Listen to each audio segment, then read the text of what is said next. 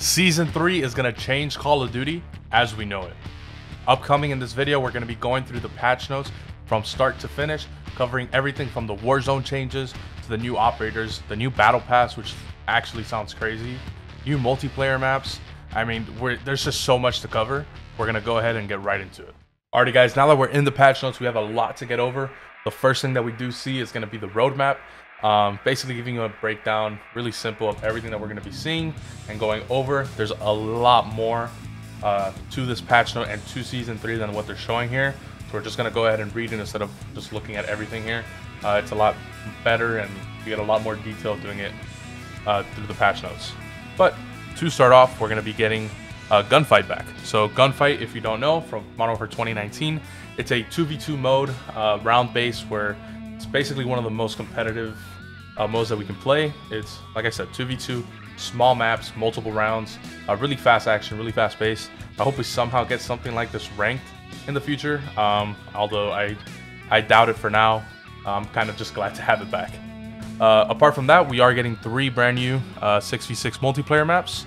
Uh, we're going to be seeing those later on in the patch notes, as well as two brand new uh, large-scale maps. So you're talking your invasion and your ground war. Uh, one of those is actually a night mode or night vision. That's something brand new they're adding to uh, this season. So I'm definitely looking forward to that. That's also down in the patch notes. We're going to get into that a little more. Um, as well as some new spec op missions. So if you're into co-op, that's definitely something to look forward to. And a brand new raid episode. Uh, but yeah, so to start with, so as we were saying earlier, Gunfight is returning. Uh, as I said before, it's a small 2v2 of highly competitive small map believe there's six rounds total. Um, apart from that, I don't think the game mode changes much from 2019. We're just not going to be seeing it introduced with obviously all the guns, the mechanics, and everything to do with Modern Warfare 2. Apart from that, we are including uh, a new map rotation. So we have a new map called Alley, which is somewhere in the Al Mazrah region. And it, they say it's a small marketplace, so I'm assuming this is a smaller type map, maybe something similar to Shipment or something in that range, is what I'm assuming. Um, apart from that, we also have Black Site coming in, which is going to be the brand new Warzone 2 Gulag, which I'm very excited for. Uh, but this is also going to be a gunfight map. So this is definitely something to look out for, uh, something to definitely play around and check it out, because it's going to be very important, especially for that Warzone 2 rank that we're going to be talking about later. Apart from that, shipment's obviously coming back in. Um, not sure what this is for. It says, in addition, another gunfight locale.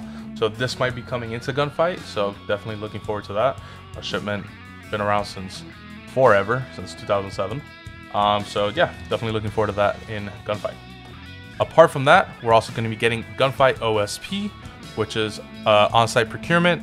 It's basically just a variant of the traditional mode where we're going to be having to grab the weapons on the floor instead of actually spawning in with them. Um, think of it as that really old uh, Modern Warfare original Modern Warfare 2 game mode where you pick up guns around the map, but it's going to be on those smaller gunfight maps. So definitely looking forward to this. Uh, probably won't be playing this as much because I'm more of a competitive player as you see in my other videos. So I'll probably be playing gunfight a lot more, hoping for a rank mode in that, but you never know. Um, apart from that, we are getting three brand new multiplayer maps and the two uh, larger scale maps in Ground War and in Invasion. So the first map we're getting is Pelia Pelayo's Lighthouse. So it's going to be a core map. Looks pretty nice. Looks like one of those medium-sized maps. Uh, three lanes with an indoor area. We probably have a smaller uh, outer house that we can also go into. Uh, doesn't look too bad. Looks kind of interesting. If you can definitely get up here and snipe. Uh, maybe they'll add it later on into Warzone. Who knows? Uh, secondly, we have a map called Black Gold, which is going to be basically looks similar to kind of like Rohan Oil. Um, but this is going to be the very first night mode map, which is something I'm very excited for. Uh, it's basically going to be uh, a nighttime map. I mean, there's nothing really much more than that. Uh, we're going to be basically fully night vision. Everybody's going to be using thermals and uh, using really good uh, laser sights, maybe something of that nature. Um, not sure how it'll look without the night goggles, if you can turn them on and off that's definitely something to maybe check out. Um, but yeah, definitely excited for this. Uh, glad to see they're kind of changing on multiplayer um, and giving us some new things to work with. Apart from that, we're going to be getting Rohan Oil as a brand new ground war and invasion map. which I'm definitely looking forward to. I think this is one of the most intricate kind of areas to be playing around in in Warzone. So kind of happy that they brought this out. Uh, I don't really play much Ground War. I play it more with my friends, kind of just chilling. So uh, I think this is a good addition. I think I like the changes that they're making with this, how they're adding these new maps. The other map, which I'm even more excited for, is the Sattiq Cave Complex in Al Mazrah, which is going to be bringing Afghan to Ground War and to Evasion. So this right here is probably going to be something I'm playing a lot more, uh, especially if I can get into that map. Apart from that, we're also getting a brand new map that we haven't seen before, which is going to be Alboran Hatchery, which is going to be coming mid-season. It's not going to be coming out at the start of Season 3. Everything else we said is coming out start of Season 3. This is going to be coming in in mid-season. And again, it looks like a pretty cool map. I believe up here is the lighthouse area that we just saw uh, at the beginning up here. So maybe this is like a complete separate addition to Warzone. Maybe a look at at the new map that we might be getting in Season 4, Season 5. Um, but yeah, so this looks this looks like something to look forward to. I'm kind of happy with the, the multiplayer changes. I'm happy that they're adding new maps and giving us a little bit of a change. Alrighty guys, continuing on with multiplayer, we're going to be seeing three new modes coming on as well. It's going to be Cranked, Face Off, and Gun War. Gun War. Ground War Infected, I'm sorry. Uh, Cranked, if you don't know, it's an old mode from uh, Call of Duty Ghost. Uh, it's one, probably one of my favorite modes that I played just playing casual multiplayer. Basically, every kill you get, uh, you start speeding up and you start playing a lot faster and faster and faster up until I think it's like five or six kills.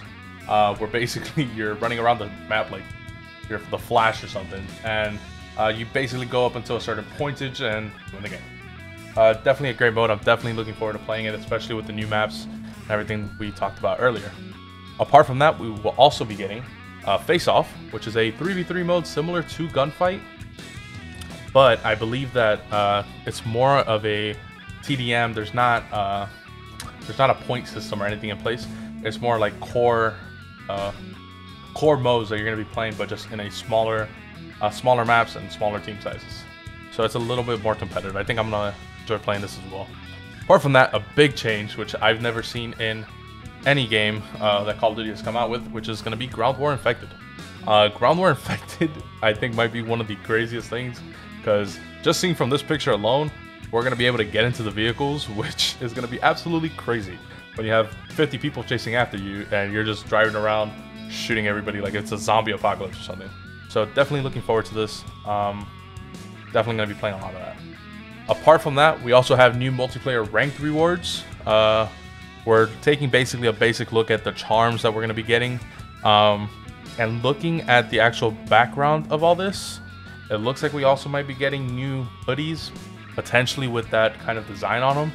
Uh, so definitely looking forward to this. Um, I love what they did with ranked in season two, and definitely looking forward to playing season three and seeing what new rewards they got for us. Uh, they basically give you a basic rundown of the win rewards. So five wins will give us a sticker, 10 wins will give us this tag blueprint, I believe. Uh, with 25 wins, you get this top dog emblem. Then you keep getting a typical, tippable uh, weapon vinyl, a loading screen. Then you get the ranked play veteran camo. I believe the one that they're using on the tag. I would have to double check once season three comes out, but it's most likely this one. Apart from that, we are going to be getting the season two ranked rewards at the beginning of season three, so look forward to that. I hit Crimson, and I think that's as far as I'm getting in these last few days. So I'm happy with my rewards, and I'm definitely uh, looking forward to where I get in season three. All right, continuing on with the patch notes, we are getting a confirmed mid-season map, which we showed up above. We're also going to be getting a new Spec Op mission and Raid Season 3. Uh, so by the looks of it, it looks like we're just continuing the story for Season 3. Um, and you can play the first two Raid episodes to kind of go in order of how it's going. Uh, don't really give you much more information other than that. Apart from that, we're getting into the juicy stuff now. So, Warzone 2. So, a lot of changes are coming to Warzone 2 and to DMZ. Um, we're basically going to be getting, as I was saying earlier, big changes. Uh, so, Resurgence is coming to Al Mazrah. So, it's basically massively big map. But we're going to be having everybody coming back playing kind of like it was Ashika. So I'm definitely looking forward to this. Uh, I believe we're gonna be we're gonna be able to jump in solo duo, trio, and quads. I'm um, not sure if they're gonna change that, but it's something definitely to look forward to. I definitely like that they're adding the second map. It's gonna be known as Massive Resurgence. So I, I don't even know what to think about it. It's it's so crazy that I'm I'm just like stumbling my words right now. We're also getting plunder. I fucking like thank God somebody that somebody's listening.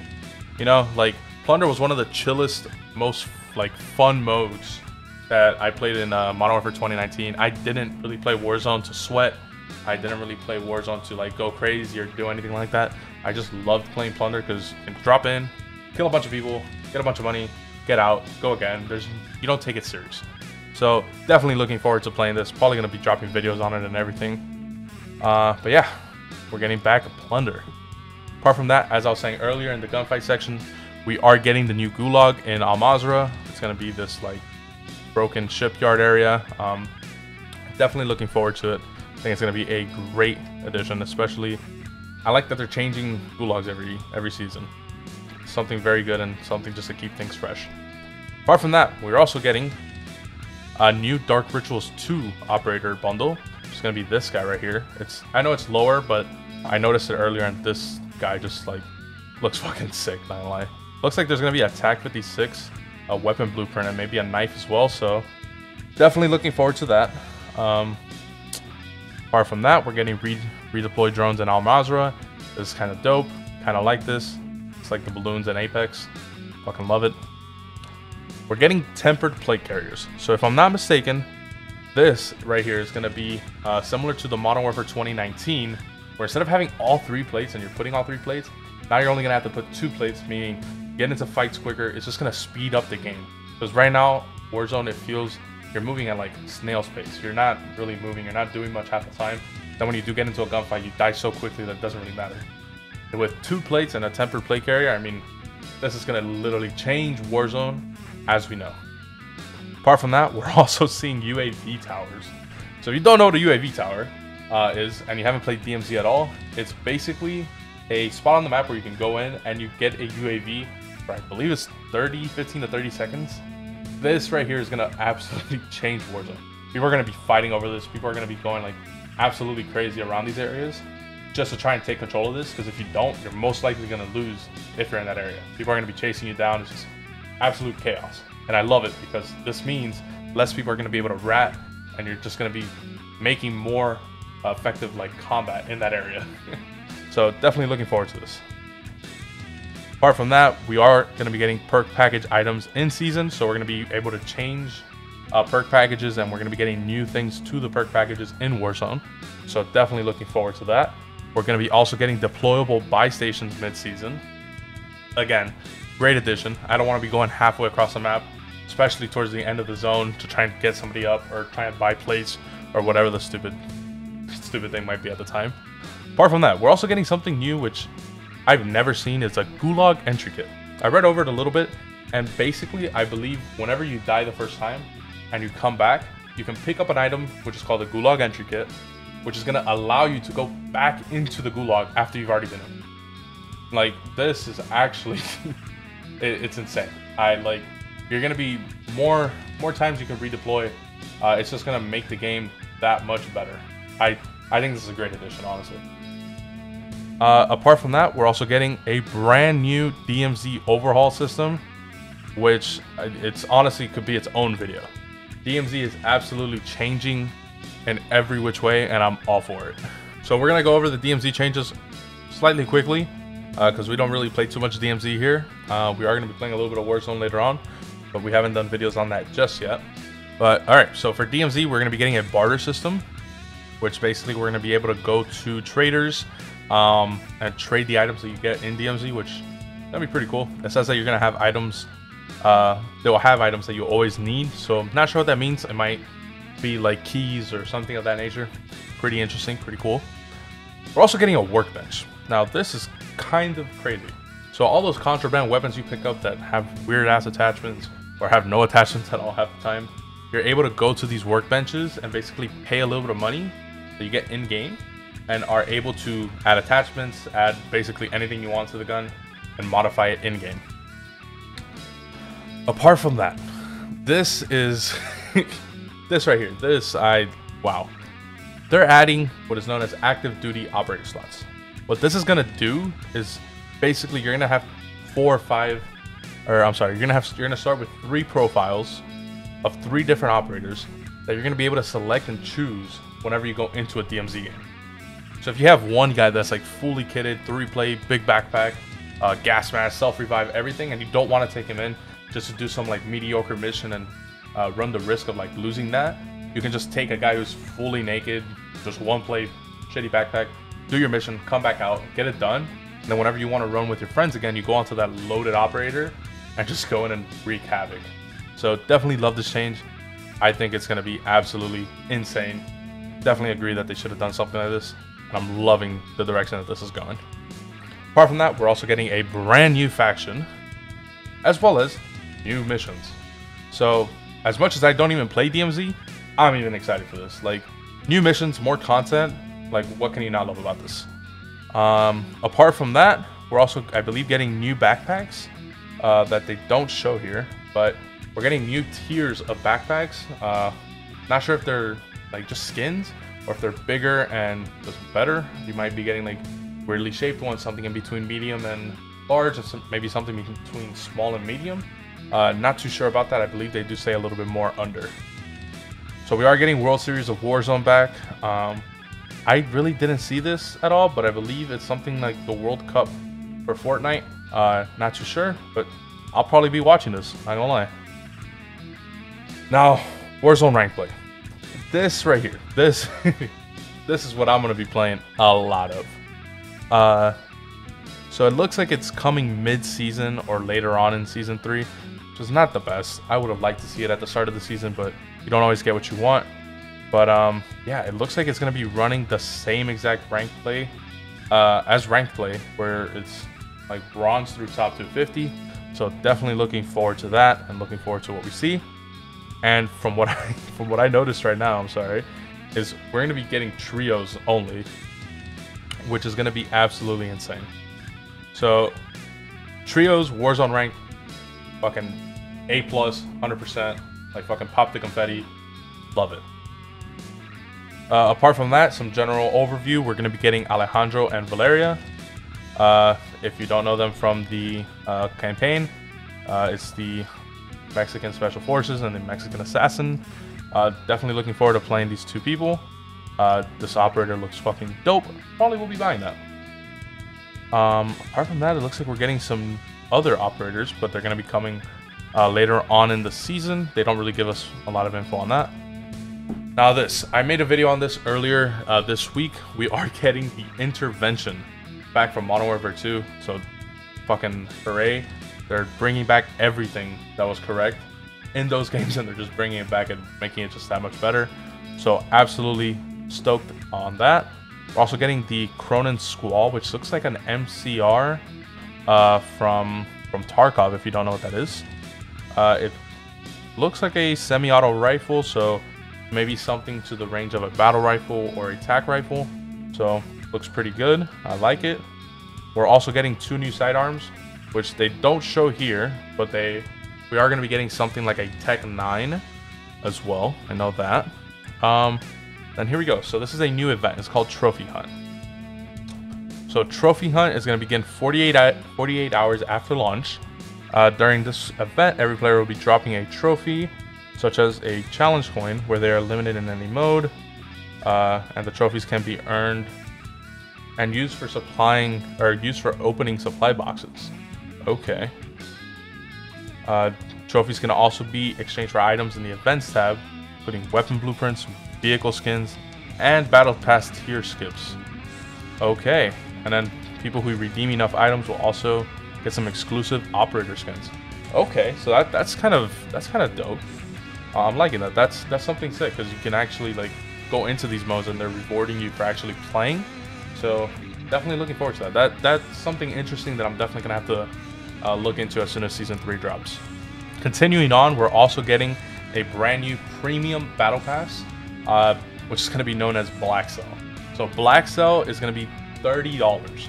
So it's a little expensive, but we're to be able to get all of this right here uh, for $30 along with the Battle Pass. So first off, we're getting basically an upgraded Battle Pass. So you're gonna have the full uh, Season 3 Battle Pass already available, as well as 20 tier skips.